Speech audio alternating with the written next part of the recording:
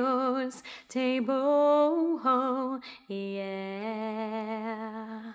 One happy birthday dot com.